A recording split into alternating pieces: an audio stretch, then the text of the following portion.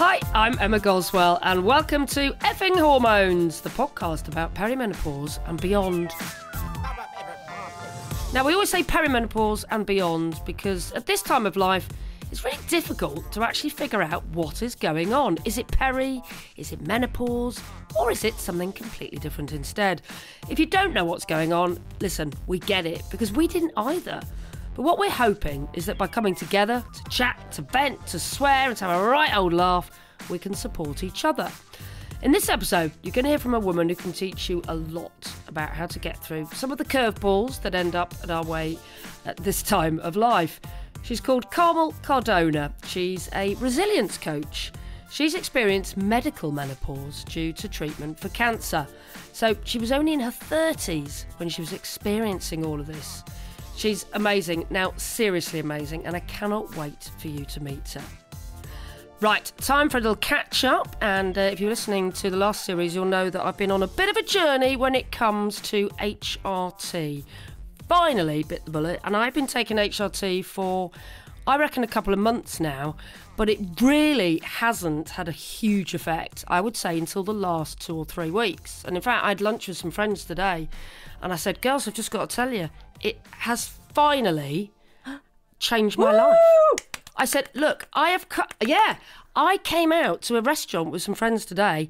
Did not even pack my fan in my handbag oh, because I wow. knew Wow. I wouldn't need it. Wow. I, I know this is a huge turnaround. So in the last two weeks, I've not even bothered gr- running for my fan or just having those moments where I go, I'm going to burn inside. I feel like I'm on the planet Mercury. I haven't had any of those moments. And I've just got on with it. Occasionally I go, oh, I'm a bit hot. I wouldn't say the flushes are completely gone, but I don't have those awful, awful moments where I have to have a fan in my face. I just go, oh, I'm a bit hot and I might take a layer off or I might open my window. I, it's, it's not a hot flush like I have been experiencing for the last five oh, years. That's so amazing. it has hugely transformed my life, I Wow. would say. How, how's your sleep now? Yeah, well, I've had occasional nights where I've slept for three or four hours, which, if you've listened to me talk before and moan about the fact I wake up every two hours, that's a massive increase. I'm still not there yet. I'm still not there 100% with it. I'm still waking up. But I am totally on the road to feeling so much better. What Go on, about Helen. uh, the testosterone side of things? Yeah, so for the first month I had it, I didn't have any testosterone, and I went back to him and went, "Oh yeah, bung some of that in as well, please." Oh, God. Testosterone, and I have to say, like one of the things it's supposed to help with is like muscle mass, isn't it? And I've been so lazy the last month. I've done no exercise and no hardly any yoga, so I, I haven't. I have to say, I haven't particularly noticed much. You're not going to flex your biceps for us, Ems. It's supposed to particularly help with brain fog, though, as well, isn't it? So is it helping with your brain fog? I've a very small improvement in that. I wouldn't say. Maybe I just haven't been taking it for long enough. And then the other thing, and I'm sure you're all going to ask me about my sex life because it's supposed to help with that, isn't it? Yeah. But all I would say is, I suppose, I suppose in some respects, I actually have a a slight sex drive now, whereas probably for the last couple of years I haven't particularly had any. So I suppose that is improving. oh, but, But your girlfriend's about, happy. Uh, that's about as much as I'm prepared to say about it because I'm so much of a prude. Well done, Join the club. Well done for saying something. Yeah. Well, I said something. Yes, I said something. I can definitely notice an improvement in that department. But, but yeah, I mean, honestly, it's taken me so long to get to the stage, and because we've interviewed people, haven't we, who noticed an improvement after thinking back to Colette's interview, after like a few days of taking HRT, and I was like, well, what's wrong with me? Why hasn't it helped? But I really had to go through how much I was taking, almost doubled the um, dosage that I was taking, and it's taken a couple of months for me. But now I really notice it, and I am so blooming glad that I did it. Honestly, it has changed my life. Can you get any? Um, have you had been back to your GP? Have you got anywhere with getting it on uh, NHS prescription rather than having to buy it privately?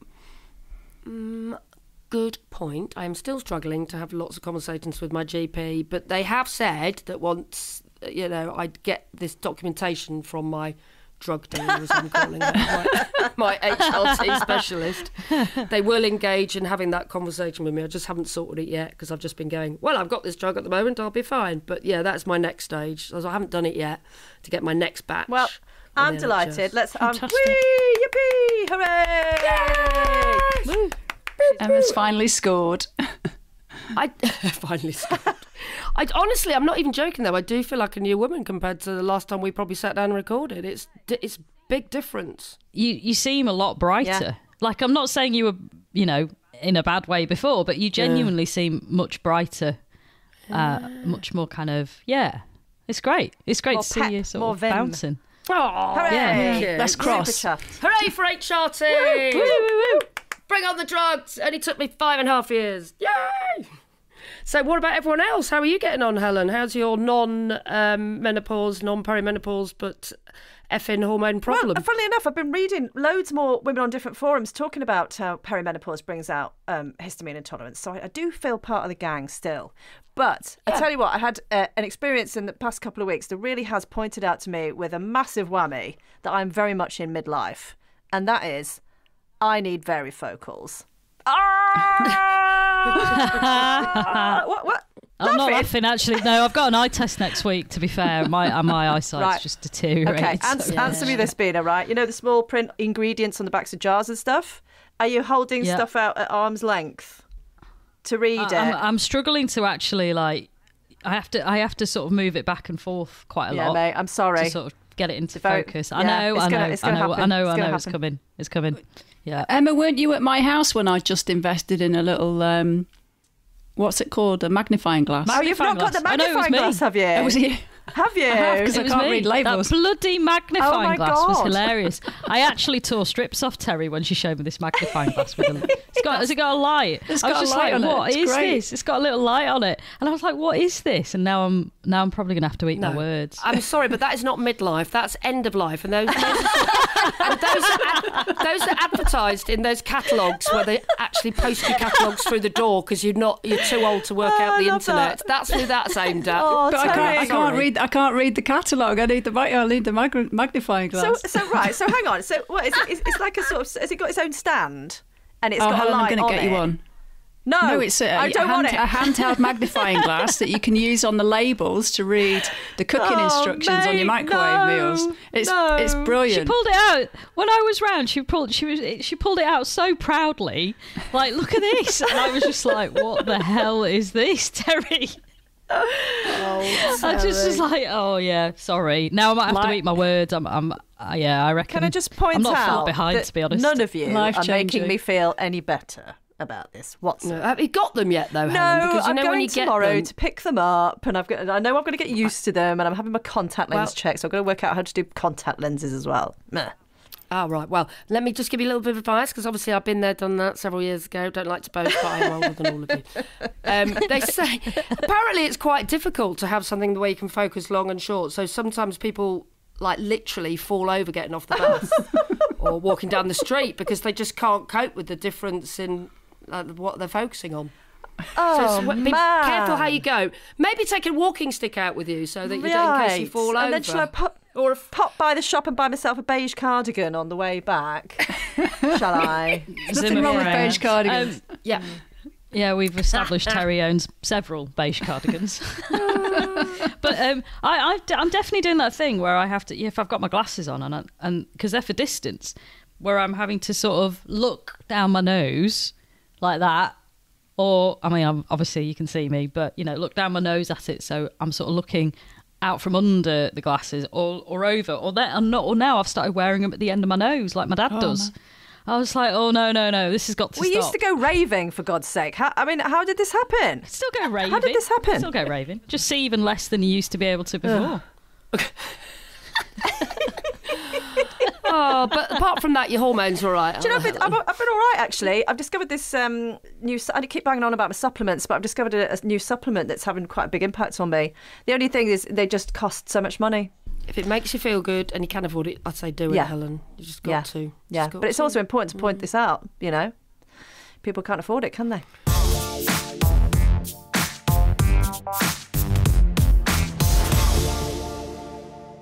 Time now for the A to Z of Peri and Meno. This is where we work our way through the alphabet, looking at different aspects of it all. Today, it's a big day because we've finally reached the letter H. Yup. Helen, we're just talking about one subject this week, aren't we? So, what on earth is going Well, on? Well, basically, you've touched on it already, Ems, because we hmm. are talking about HRT in this episode. And I mean, it's just such a massive issue that we decided normally we all take our own whatever letter it is. But for H, it's just such a big deal. We thought we'll just concentrate on HRT. Now, we're not even covering everything to do with HRT because if you go back and listen to previous episodes of Effin Hormones, at some point, it comes up. So we're just looking at a couple of aspects of it. I'm looking at uh, bioidentical versus body identical because I've been constantly confused about the difference between the two. So I'll explain that in a minute. And Terry, you're looking at another aspect of HRT, aren't you? Yeah, so I'm looking at the um, different types of HRT and the ways of administering it and uh, the different types of regimes. So um, we've touched on estrogen in the past, but estrogen is basically what you replace because we lose estrogen when we hit perimenopause. So you can take estrogen as a skin patch, a gel, a spray, or a tablet that you swallow but you have to basically find what works for you. So I was on patches to start with. So I initially started on something called Evorel Sequi, which included estrogen and progestogen. But for me, that after about 12 months, I was realizing it wasn't really working. So I changed to the gel, which I rub onto my skin instead, and it's a pump action gel. So you have a little bit more control over how much, how many doses you can have of that. So the estrogen that's used in the UK, it's a type of estradiol, it's called, which is the same kind of structure as the estrogen that's in our bodies. So most people get this when they're prescribed it in whatever form. It's, it's usually estradiol, and it's the one that's made from yams. And then, so there are also, um, I didn't know this, but there are also implants that you can get that you can put under the skin for estrogen. Um, the implant can be inserted and it can, it sort of lasts a few months.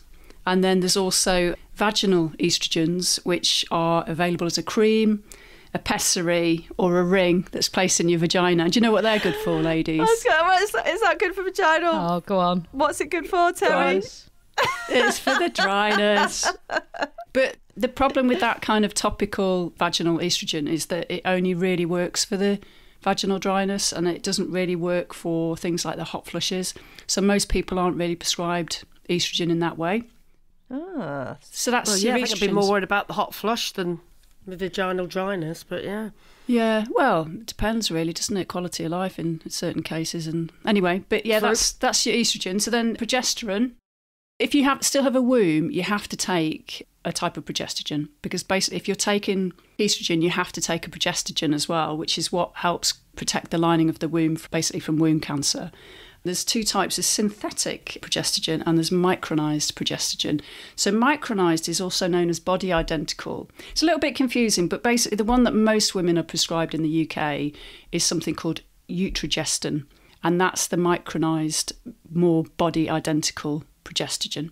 And it's usually a tablet which you take orally, or in some cases, it's a pessary.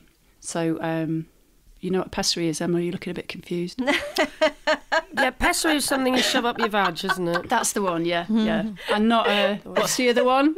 What? yeah, for JJ. Yeah, yeah. What? No, no, no, no, it's not. It's not Up the your other one. It's not the other one. No, no. But what's the other name? The name of the other tablets? I've- Because a lot of people get confused that they got. And anyway, En- enema. Enemas, that's no, no, no. That's when it gets you going out the other way. Um, Suppository. There is a word for it, though. Suppository. Suppository. that's the word. not a suppository because I love this I have, highbrow seen, I have seen on I have seen on some uh, menopause things that women are saying, "Oh yeah, you take the uh, the progestogen suppository," and I'm thinking, "No, you don't take it as a suppository. That's a whole other ball game." Oh. Um, Okay, sorry. So what's right. the difference? No, suppository is just anything that any pill that you shove up your ass. Oh, up your And an enema is the process of having shit taken out your ass. I'm such a doctor. I'm so medical. Oh, okay. It's all my medical training. You can tell, can't you? All those hours on Google. Google Doctor, you've been replaced, Doctor Google. Uh, right, so are we all are we all clear on that then on the progestogen? And if you prescribe if you prescribed a progestogen, I think I need to go get and it- lie you- down. you d- well, funny you should say that, but you take progestogen at night because it's a bit of a sedative as well. So uh, it's, uh, it's it's quite a, a mild sedative.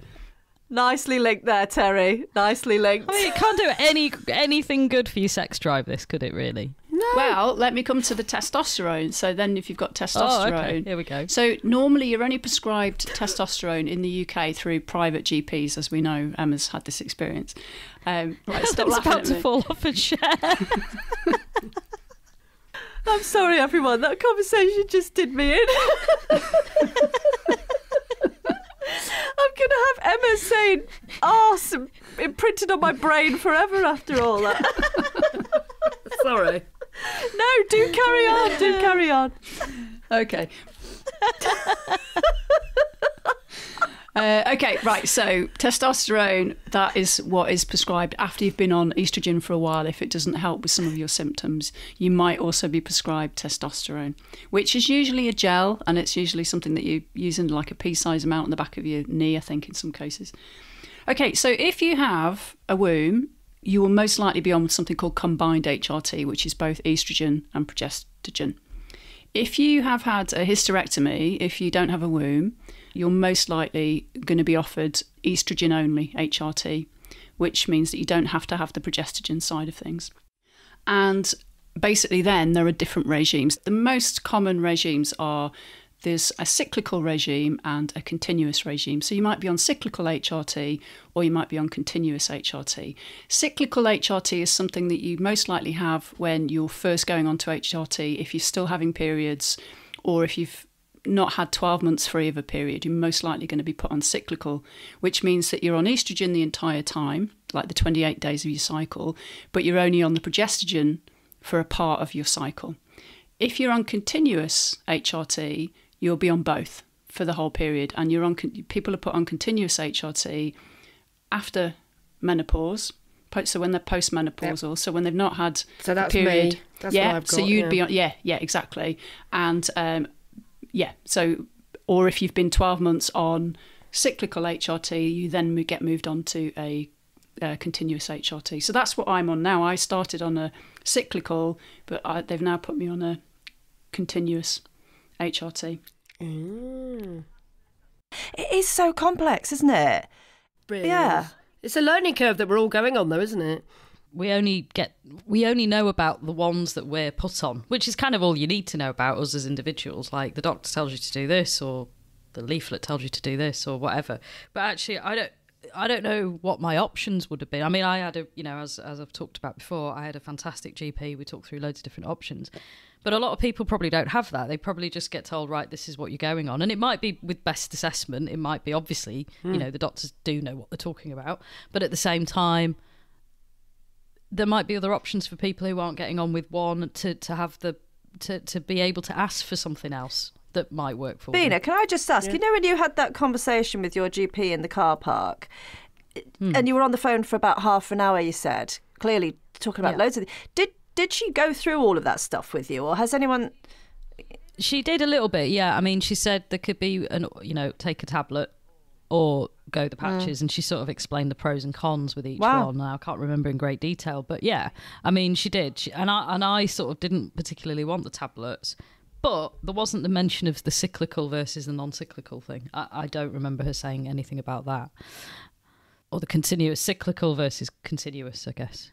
One other thing I forgot to mention is that if you, some progestogens, some women will have one uh, anyway. They'll have the um, the coil, which you can also have as an HRT. So that's also an option. But some women use it for. Um, Contraception. Contraception. that's the one. Got really bad brain fog this evening. we'll let you off, mate. It's not like we haven't had it before.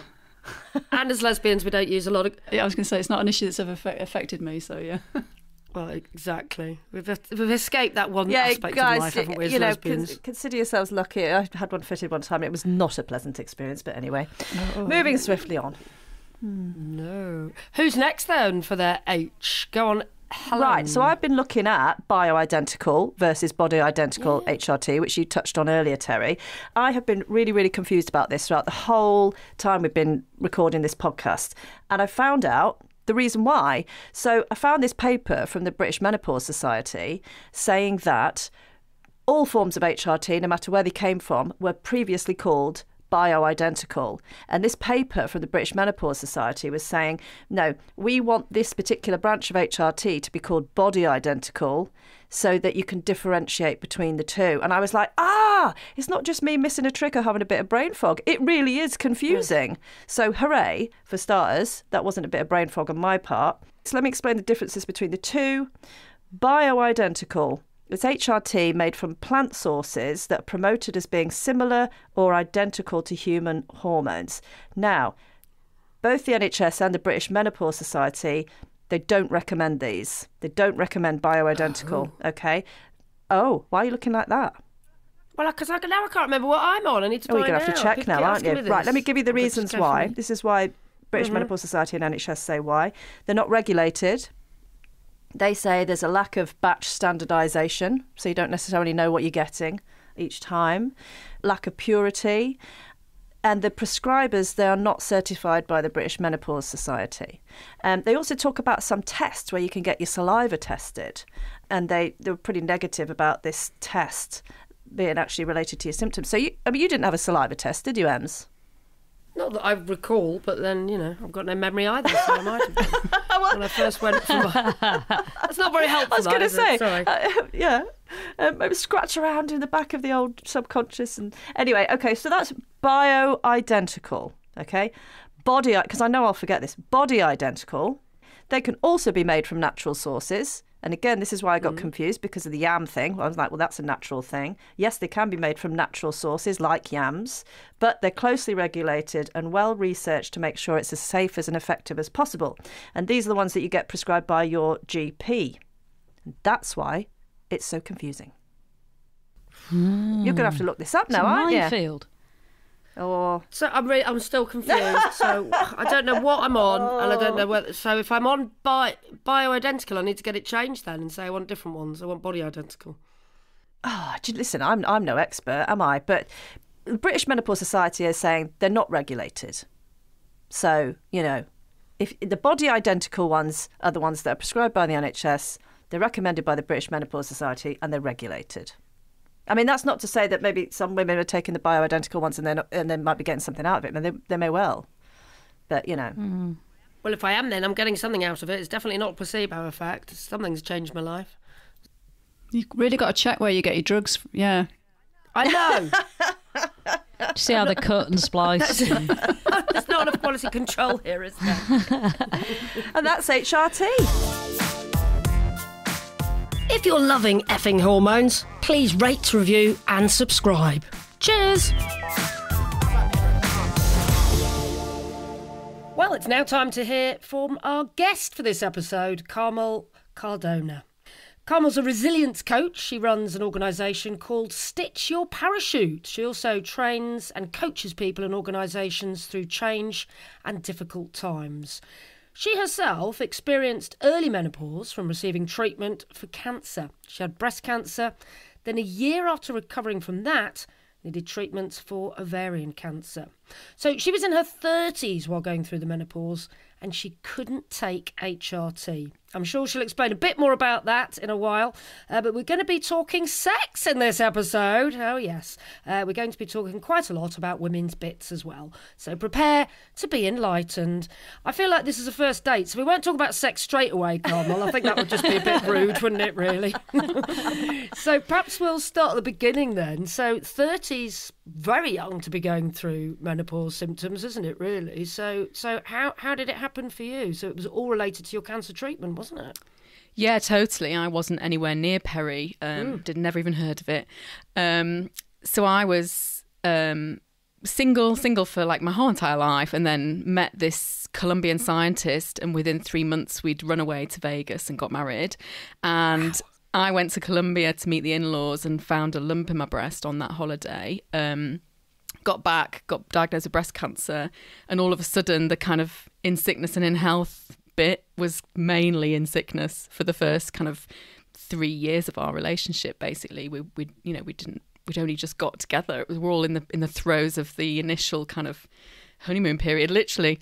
Um, so I sort of immediately started chemo and immediately got thrown into the medical menopause. And it's interesting because when I, I think when you when you go through the menopause naturally, you have a kind of gradual, you know, over the six or seven years that you're in the perimenopause, you kind of gradually um, develop symptoms. You gradually, I mean, I don't know what it's like because I just got chucked off a cliff basically Yeah. and went straight into it.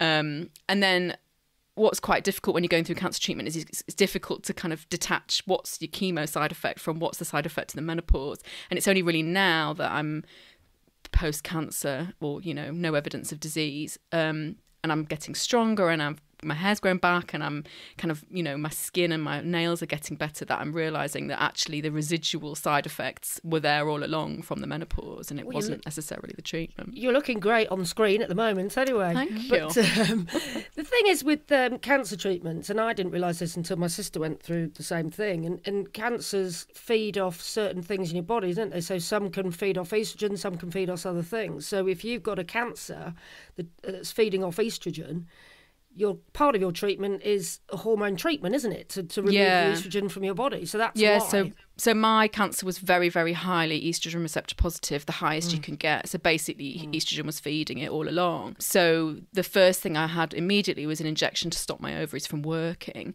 and then I've, i'm now on hormone treatment for the next at least 10 years that stops any residual estrogen that my body might produce from like fat cells or whatever from latching onto any stray cancer cells and i ended up having my ovaries removed anyway because of the ovarian cancer so it's sort of irreversible now. But yeah, the the estrogen. But we, we'll probably talk a little bit about that later on because I think estrogen related to sex is a little bit different. But yeah, in terms of HRT, it's just a no go for me completely.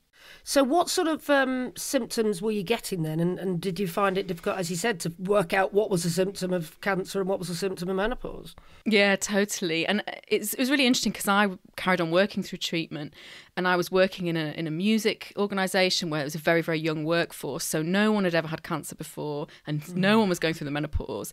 So, like, you know, I was dealing with hot flushes in the middle of meetings and mega brain fog. I mean, I remember chairing a meeting and forgetting the word for screen. And I was like pointing at this thing, going, you know, that thing there that we're projecting onto. I just couldn't remember the word for it. So I had all of these kind of, you know, symptoms, side effects, which I now know are, are very, very common in the menopause. But at the time, I just didn't know what to put it down to. And and it was quite distressing, I think. And I felt quite isolated, especially because none of my friends were going through it, and you know, no one that I knew had gone through it. And my mum and her generation hadn't really been very open about it and didn't really talk about it. And so yeah, I found it. I found it. It was only really in my cancer support groups where I chatted to other women who'd been put, thrown into the medical menopause in their twenties and thirties that I realised that this was kind of a, a thing that we were all having to deal with. And the oncologists don't even get me started. The the medic medical team hmm. don't talk about it at all. I remember so before you have chemo you have to sign this consent form and the oncologist talks you through all the possible side effects. So i had this very sort of earnest young very british man who was like talking me through you know it could cause hair loss you know damage to your skin and i could see the sheet on his desk in front of him and it had um, loss of libido and sexual function and he just skipped over those bits he did, wouldn't talk about it Wow. didn't mention the menopause, couldn't talk about it. So yeah. So that's interesting. It wasn't that he didn't have the information; he just wasn't willing to talk about it. No, and I think this is quite common. And now that I've spoken to a few other people who kind of work in oncology or or breast breast cancer nursing and stuff, people don't really know how to breach the subject with young mm. people, and you know it, it's a, such a common side effect, and you know impacts loads of people's sex lives and and relationships, and and yeah, I think a lot of medical professionals aren't really trained on in dealing with that. How old were you at that point? 38 when I was diagnosed, yeah, when I was mm-hmm. starting chemo. So you just got married, like you say, you're in the in the right in a honeymoon period, whirlwind romance, and then and then this happens, Yeah. um, and you're a young person as well. So you know clearly, your sex life is important to you.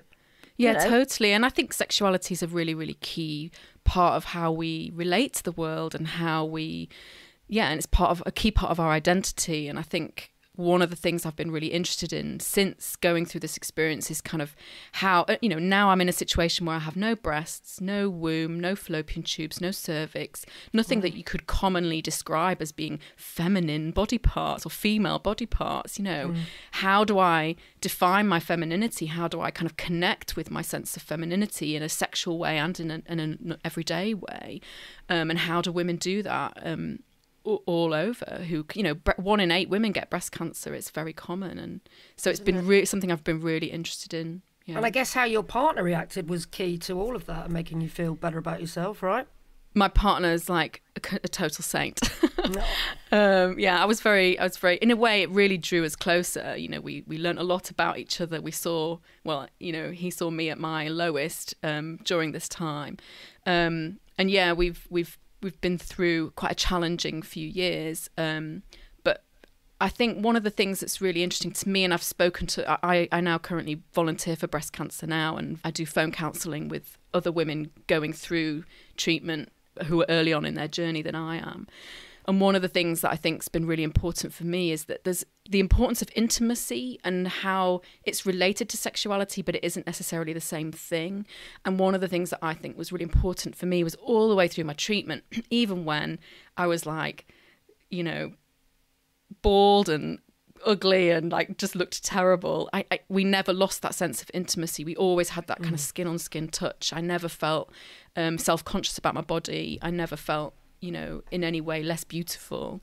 And i think that really helped me psychologically but it also helped me physically to kind of get through that that time. I think intimacy is incredibly important But did you find that you did have that lack of libido that the doctor referred didn't refer to?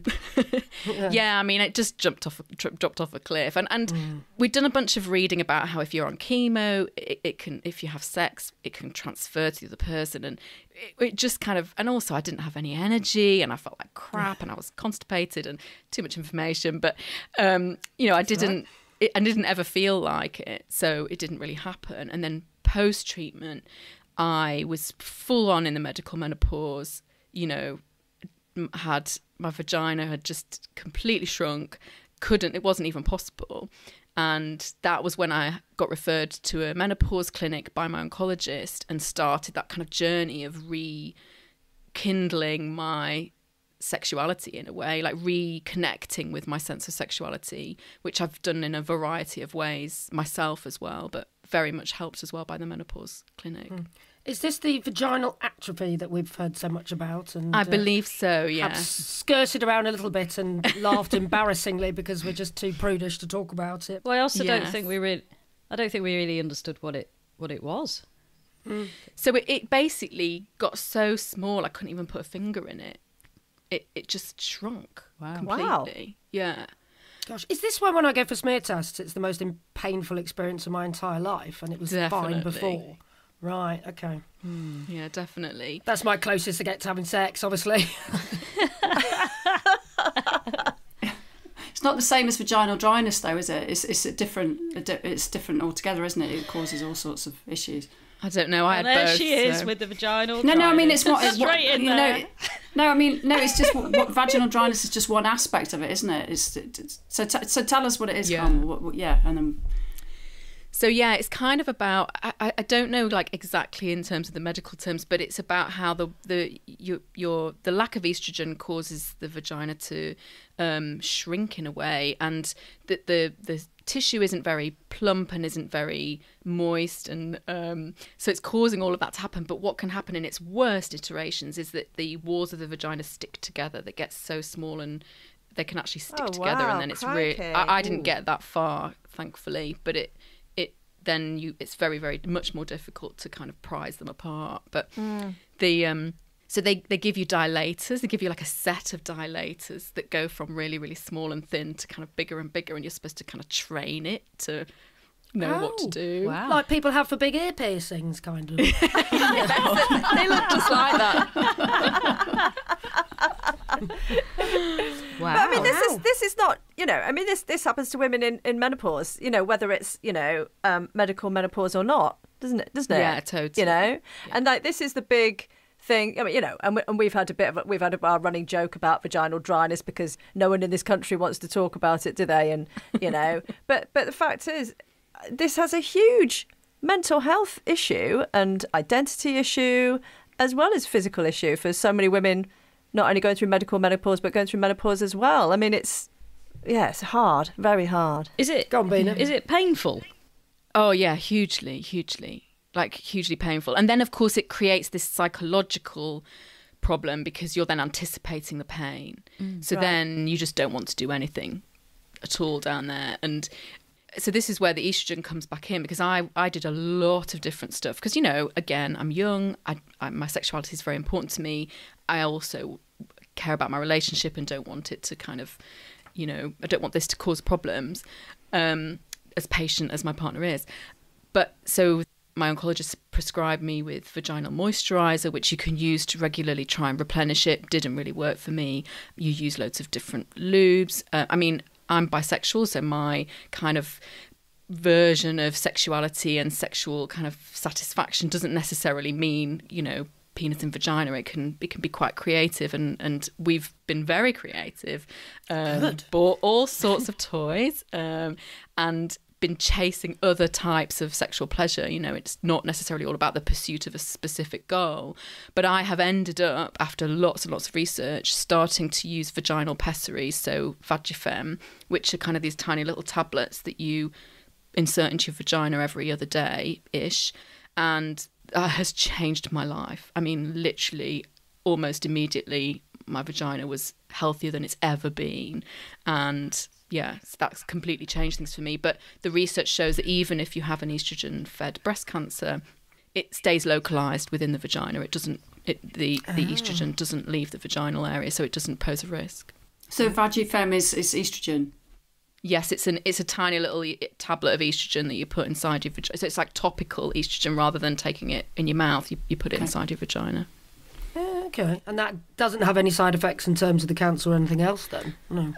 Uh, negligible in terms of the statistics. It, it doesn't hasn't been proven to make any difference. And I think I think this is the thing about menopause in general and cancer survivorship. I think you're constantly weighing up your kind of quality of life as well as kind of risk and you know that's just kind of what I'm doing all the time on a daily basis and for me my sexual health is extremely important and worth you know that kind of negligible risk Can I just ask, um because you had your breast removed as well? I mean, obviously there's a lot of physical things that happen, but your body changed like quite rapidly by the sounds of it. I mean that that must have been sex aside and you know intimacy aside, you in your own mind coming to terms with how your body must have changed so dramatically and so quickly. Like that that must have been quite tough.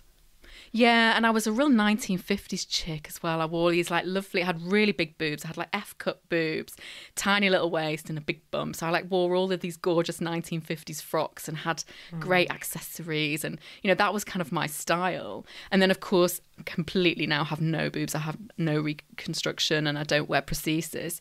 So I've I sold all of my clothes on eBay and went and bought loads of muumuus and kaftans and completely changed my style. and um, and I really loved that. For me, it was also you know a part of reclaiming myself, reclaiming my identity, embracing the opportunity to live the the next half of my life with a different body shape and and wear clothes I could never wear when I have I could never wear dungarees. I wear them all the time now because you know they look great. Um, and I think that's kind of my attitude eh, throughout this whole thing has been uh, without wanting to be like you know toxic positivity or anything but really it's it's been incredibly difficult to go through but what is it that I can take from it that that helps me regain a sense of my, my identity and and mm. yeah that's that's been part of it That's so good to hear. And, you know, we all talk about the fact that we're all going through change, but we have to try and cling to the positive side of it. And we are becoming new people in a sense. But you sound like you've gone through it in spades, really. So how long ago was all this? When did this start? So I was diagnosed in February 2017 with breast cancer, and then um, March 2019 with ovarian cancer. Um, so I had chemo, surgery, and radiotherapy in 2017, pretty much the whole year. and but that was just a lumpectomy. And then I found out I have the the following year I found out I have the BRCA1 gene mutation, which is the Angelina Jolie gene, uh, the only thing I've got in common with her.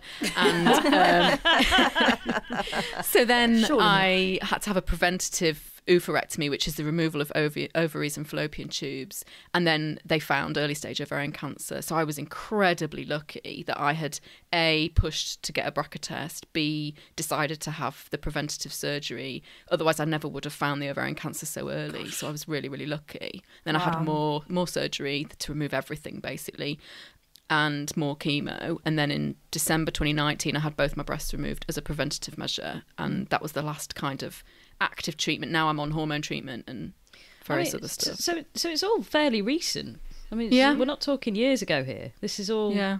And we've had a pandemic in the middle of it all. Oh yeah, that was great. Just as I recovered from three years of cancer treatment, where I basically couldn't have a life, blooming COVID hit, and the whole world started to discover what I'd already just learned about how it impacts on your sense of time and your sense of Yeah. you know mortality and mm. everything.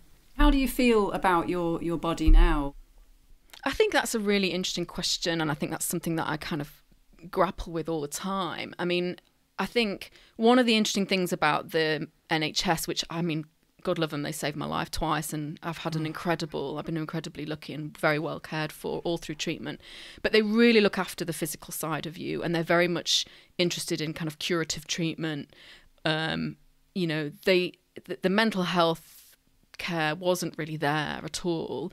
And I discovered sort of the hard way that you have to kind of look after your own mental health alongside your physical health. And had a bit of a wobble after I finished treatment for breast cancer and it was all over. And I thought, and it just, I just lost it. and then during my ovarian cancer, I, mu- I was much better at looking after my, my mental health. So I've been quite interested in, you know, how I can look at this trauma that I've been through essentially and, and and get growth from it rather than have it throw me into PTSD.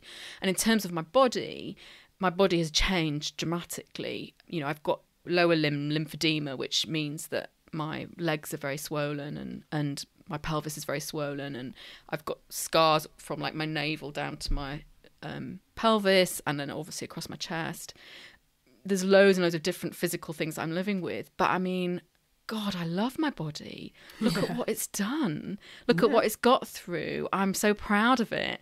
Even though, like, it seems that on a like monthly basis at the moment, something else happens that sends me into A and E. I've, ha- I've had three trips to A and E this year because of because of other like residual side effects.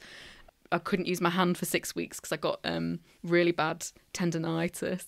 Um, and anyway, a load of other stuff. Don't won't dwell on that. So I've come to terms with the fact that my body is fragile, and I think that was the hardest thing to come to terms with for me. I've always been a very strong Yorkshire lass with the constitution of a horse, and then all of a sudden I'm now quite fragile actually, and I can't do everything, and that was incredibly difficult to kind of come to terms with. But I think I put in, and I think this happens a lot with the menopause. It's less about symptoms getting better and more about you learn ways of dealing with them to minimize their impact on your life. In that vein, you've done quite a bit of work with other people who've, you know, returning to work after illness. I've read on your website that you do uh, quite a lot of work with people who've gone back to work after illness, and uh, you do a lot of work with resilience. What does the resilience mean to you in terms of coping with your um, surgical menopause now? Well, I've um, I did a lot of reading when I was going through treatment about, like I said, about post traumatic growth and about um, kind of resilience in general. And I've developed my own model of resilience, which is um, five key pillars of resilience. And I've developed training around that. And it, a lot of it just came about because after I went freelance because. Um, so often when you have something massive happen in your life like cancer or the menopause you, it makes you reevaluate things and i think a lot of people end up going through a bit of a career change. So i decided to go freelance and then the pandemic hit so i had to and i was in the clinically extremely vulnerable category so i had to shield for 18 months basically stay at home. So i started delivering resilience training online and it just took off. People were just really it was really really people were really resonating with it. Um and so and uh, it's, it's kind of become a little bit of a of a dirty word, resilience these days. And I think there's also part of it that's kind of like it's your own responsibility. Well, it isn't. There's bigger structural, systemic problems, but there's a lot that we can all do in our own life um, to help us be more resilient, like. Um, developing more self awareness and getting feedback from other people about ourselves, or cultivating our sense of purpose and understanding what our values are that then help guide us to make decisions founded in with a really strong foundation. Um, nurturing relationships with other people building networks feeding our joy. One of my pillars is feed your joy which is about um, you know always making time in your life for the things that you know bring you happiness and meaning and engagement. Um, and uh, so i've kind of woven um, these things together to create this resilience training. But then I also work one to one as a coach, coaching people who are returning to work after an illness or after completing their family, and coaching senior level um, women who have reached the menopause and, and are, are reevaluating their careers quite considerably. Can I just say, I think you're absolutely bloody amazing. I really Oh, do. I really do. Thanks, Honestly, what? A, Can I clap what now? Incredible. Yeah, you can clap. Yeah, you can clap now. Oh, you're making me blush. oh no, it's a hot flush. I am interested to know, though. I mean, how, uh, when it comes to resilience, and when it comes to you going through this traumatic experience, how much did you know about resilience at that time? And did you have this approach towards it then, or was it something that you learned during and after? definitely something I learned during and after. I don't hmm. think I really could have defined resilience to you before, but Okay. I, th- I think for me that's what resilience is. Is it's about it's not about um, people call it people use phrases like bouncing back and stuff. It's not about bouncing back. It's about you know these things life is going to be challenging we are going to have things happen to us that are difficult it's about how we learn from it how we grow how we adapt and how we then use that learning into helping us with things in the future so it's really about you know changing it's actually about growing and changing Yeah, we've said that so much about menopause. yeah What would you say to um, NHS staff who work in the area of oncology or, or menopause? That you know, what would you want them to to hear if if you could get them in a room and, and get them to listen to you about how you were treated? That's a great question. Um, that's a great question. I, I feel like a lot of it's just about not being afraid to talk about these things, not being afraid to be the one to start the conversation. I think there are a lot of patients, a lot of young women going through it who just don't have that information. They don't understand what's happening to them. They can't anticipate it. They were never told about it. Um, you know, I ran a workshop recently for women under 40 who had gone through the medical menopause, and not one of them had been told about it when they started treatment. Not Wow. one of them. Wow, that's so shocking, it's just isn't it? talk about it, communicate Yeah. about it, don't be afraid of it. Well, I think it's quite sort of uh, symptomatic of how we're treated medically a lot in, in the West, I guess, that we're treated on individual things and as women, but we're not treated. I mean, the, this it sounds like there needs to be a more holistic approach to, to how people are treated rather than it just being right. We're just going to focus on the cancer now, and then Yeah. we're going to focus on this, and then we're going to focus on that. And I think a lot of it, i- it's it's very much that. It's like we're treating the cancer, and then well, we've cured you now, so you can go away you on pop. your merry way. And like you know, it's, this is the rest of my life. This is this is mega.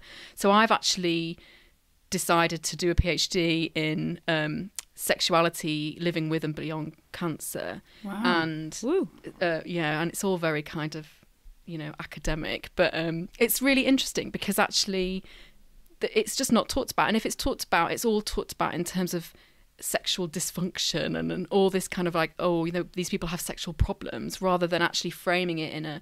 It's, it is possible to regain that sense of a sexual self after cancer. You know, you can get there, but you probably need some help and there needs to be more investment i think in interventions to help people and communication to help people oh, And again, so so many parallels here with, with, with, with the menopausal experience as well. You know, whether it's whether it's surgical menopause or not. You know, definitely it's the same thing, isn't it? And I can I can imagine how you know. I mean, I was talking to someone the other day who was saying that some women grieve well, w- with the loss of their periods, and and it's like a kind of bereavement for them because you know they haven't got that cycle anymore. And there's all these. I mean, there's so many massive issues swirling Yeah. around with this, and we just need to talk about it, like as brilliantly as you're talking about it now, Carmel. And that's what we're hoping to do with with Effin Hormones as well, and just make it okay to talk about. Can you can you explain to me why it's called stitch your parachute? So it's it's based on the premise that it's wiser to stitch your parachute while you're safe on the ground than wait till you're falling out of the plane. Oh yeah, yeah. Good advice. so, there. Yeah. so you know there are things that we can do to build our resilience before we hit the crisis point, so that when that crisis point happens, we're much more likely to to kind of have a really robust parachute to help us. Well, how do you stitch your parachute, Carmel? I cook ottolenghi food a lot. Nice. Um, I I like learning new things. I love going out for walks, um, noticing things, spending time with friends.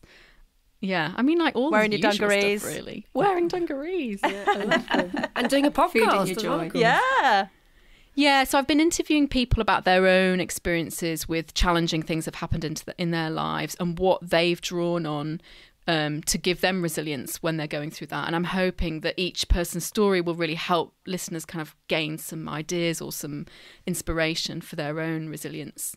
I'm really excited about it. I've had some amazing guests on it and just some really, really awesome stories of people who just have been so generous with their honesty and their and their sharing. It's almost sounds as good as our podcast, actually. If I'm honest. Not quite, not No, I mean, obviously not. No. no, no, no. Effin Hormones. Sweary, but supportive. Carmel, are you ready for this? Yeah. It is time for your peri peri peri. If I could actually speak, it is time Put your teeth in, Emma. for your. Uh, it is time for your peri peri grilling. Uh, this is where we get to see where you are on the Peri Trump scoreboard. Uh, you'll also get to nominate your Peri or Meno hero in our fabulous awards, the Effins. Um, and you also get to choose a song for our magnificent Spotify playlist. Uh, I'll give you the criteria for that in a bit. Uh, but first of all, let me remind you about Peri Trump. So you've got to think like top trumps, basically, but for Peri or Meno symptoms. Um, so Helen's done a quick Google to find out which symptoms are rarer and which ones are more common. Um, it's a very quick Google, we should point out. It's not really medical facts. We are not experts. Um, so basically, what happens in the game is the rarer the symptom, the higher the score. Uh, the more common ones, like hot flushes, even though they're blooming awful, get a lower score. Does that make sense, Carmel? It does, yeah. So you've gone through our little um, sheet with um, different things on, and what did you get? Were there some many, Were there some rare ones that you got? Um. Well, obviously, I didn't get any sore boobs because I don't have any boobs. I was, I was going to say we need to we need to update our uh, Peri Trumps. Actually. Yeah, we need to do it. I think, We'll do it. We'll do a surgical menopause period. yeah, you've blown it out of the water, Carmel. Um, yeah, I, I um obviously had all the the things we've talked about in terms of libido and vaginal dryness, and um. I did have the irregular heartbeat actually. I ended up seeing a cardio oncologist at one stage recently because my heart beat my heartbeat went a bit funny and still is a bit funny. There's a name for it which I can't remember. I get the tingling and the electric shocks, which are both. I didn't know that they were menopause until Oh, I saw electric that. shocks. Yeah. Yeah, That's quite a a high scorer, points. isn't it? That's a Electric shocks. nine. Yeah. it's a nine. Wow. Yeah. She's going to have a high score, girls. Uh. I don't know. I don't know what your. I can't remember what your previous guests have had. Uh, you know, all the normal uh, brittle nails and fatigue. Oh, dreadful Ugh, fatigue. it's Mood pain, swings, rage, all that stuff. Have you totted it up? Do you have a total score for us? Carmel? I'm an 83. Oh, that's quite high. Is it? That's quite high. Hang on a sec. Let me see if I've got my. She's going to look at the scoreboard The scores on the doors, compared George. to, compared to last. Oh, right. You're, you're third, Carmel. Oh, You're my third. goodness. Sue Devaney, who's on a previous series, 125. That's the one Holy moly, she must have had I all know. of them. Yeah. She's pretty just really bad at maths. Her. I didn't include hair loss because when I started Yeah. the menopause, it all fell out. But then it's been growing back since then. So I, I don't think I can count that. So Fair enough. Fair enough. Yeah, so you're third. Colette Walsh uh, at 94. And uh, yeah, you come in third. Ooh, Wow. I think we should start the, scoreboard again, though, for for series two. Ah, so at the moment, so far, you're, you're winning. but as we always point is it out, really this a, is, a game yeah, that you want to win. this is not the game. Yeah, this is not the game that you want to win. But anyway, you could take some kind of uh, pride on the leaderboard. I think. You definitely want to lose. Right, it is time now for the effins. Uh, this is where you get to nominate someone who's got you through uh, this in one way or another. So it could be a friend, it could be a partner, someone that's really been there through your hormonal rages, or it could be a medic who's been particularly good, although judging by the sound of your oncologist, you won't be nominating him. um, or it could be someone in the public eye raising awareness. Um, so, Carmel, who are you going to award your effin to? Well, my effing goes to uh, Dr. Claire McCauley, who is uh, an incredible woman who I've met uh, relatively recently, but she's just completely changed my whole attitude towards this. She's um she's a breast cancer oncologist based in Glasgow, but she's been training over the last few years in somatic sexology and she started a group called the pleasure possibility which is all about um, the possibility of pleasure in menopause, and it's only for menopausal women and non-binary people and anyone who basically wants to continue to have a very, very happy sex life in menopause. And she does incredible stuff. Yes, she's really been amazing. Sounds like we need to book her. We, we do need to book her. It sounds like she's going to be be in your. PhD, is she? She's one of my collaborators. Yeah, she's Yeah. she's been really generous, and she's she's one of those kinds of people that will talk about sex on LinkedIn. She's got absolutely no shame, so I love Amazing. her. Great. She's really inspiring. So, Dr. Macaulay, Sounds brilliant. Yay! Woo! Yeah. Well done. A very, very worthy effing, I would say. Right, uh, and finally, you also get uh, the huge honour of adding a tune to the Effin Hormone Spotify playlist. Uh, the rules for this are, well, there are not many rules to be honest, and rules are there to be broken. But generally speaking, you're getting you to choose a song that gets you up and going if you need to, or maybe just a song that makes you feel like a badass woman, um, or maybe something to express the rage that you've been experiencing as well. Uh, so, what is your choice, Carmel? What are you going to go for? So my choice is Florence and the Machine, Shake It Out. Oh, Um, and I think there's a, there's a couple of reasons why I've picked this. It's a it's a brilliant tune, and I love dancing to it.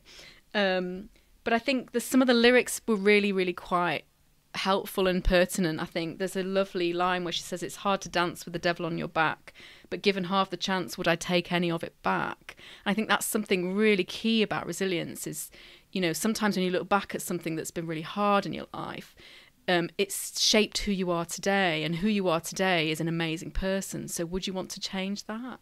Um, and there's that line, it's always darkest before the dawn, which I think is like a metaphor for menopause because it's going to be really, really tough, but you come out the other end. And from what I've heard, it's amazing. So, yeah. Oh, that's so good, Carmel. I'm so honestly, you've nearly brought me to tears with that reading those lyrics out there. I'm like, oh god, It's well such- done. Such a poetic song, isn't it? I It's know. lovely. Great Oh. choice. Thanks. I'm not really very into music, but I saw Florence and the Machine in, in concert in Sydney a few years ago and was just like blown away. It was one of the best concerts I've ever been to in my life. I can honestly, honestly sure say you've got better taste than me. So Are you are you the Enya fan? I am. Yes. yeah. How did you, how did you guess? I can vouch for that, Carmel. She's not wrong. We, we just Sorry, we just banned Terry from the Spotify playlist. do you know? do you know? One day put Enya's Sinead gonna on.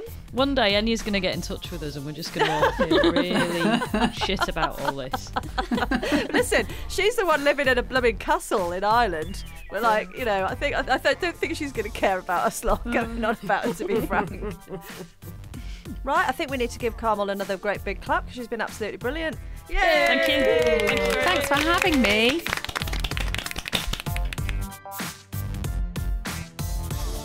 Well, that's it for this episode of Effin Hormones. Thank you so much for listening. Uh, you will hear from us again in a couple of weeks' time. We do want to say a big welcome to all of the members of our new Facebook group. What do you mean you didn't know we had a Facebook group? Well, we do, and you can join us as well. All you need to do is search for Effin Hormones Podcast, and it should come up. Uh, don't forget, that is Effin with no G. And of course, we'd love you to rate, review, and follow Effin Hormones. And please tell whoever else needs to know. We are here for them too. Thanks so much. See ya.